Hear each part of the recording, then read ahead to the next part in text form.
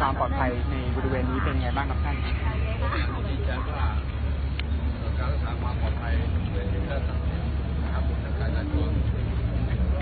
ว่าร้อยเปอร์เซ็นต์นะครับ มีจุดไหนที่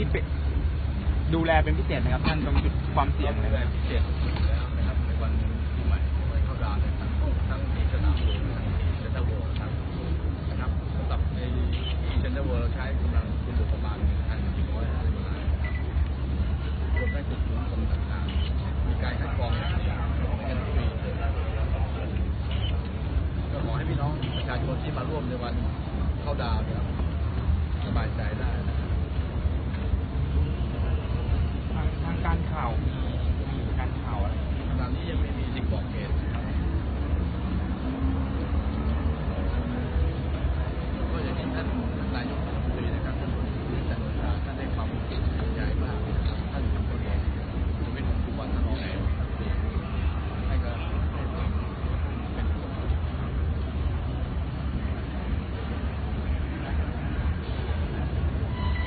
นท่านสอบถามคนนี้แฮกเกอร์มีการทำตัวเพิ่มจากทางคุณผม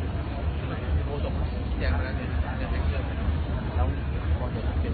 พวกพวกวัยรุ่นหรือพวกที่โดนหลอกมาอะไรอย่างเงี้ยครับ ที่เรายสบายๆเรื่องดีดีเรื่องส่งท้ายปีเก่าต้อนรับปีใหม่ครับซึ่งท่าน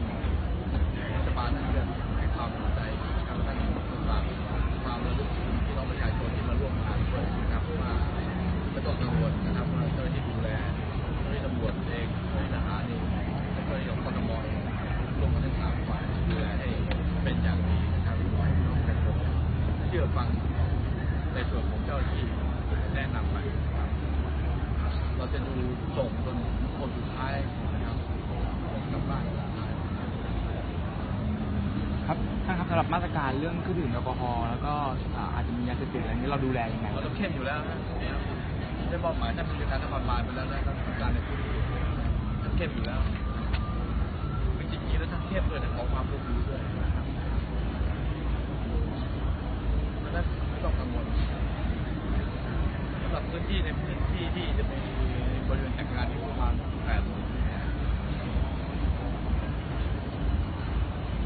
ส่วนพร้อมอยู่แล้วเดี๋ยวประมาณสักสิบแปดนาฬิกาก็จะเปินการจรานรสองร้อยเปอร์เซ็นให้ผู้ที่จะร่วมงานมาสักสิบวัน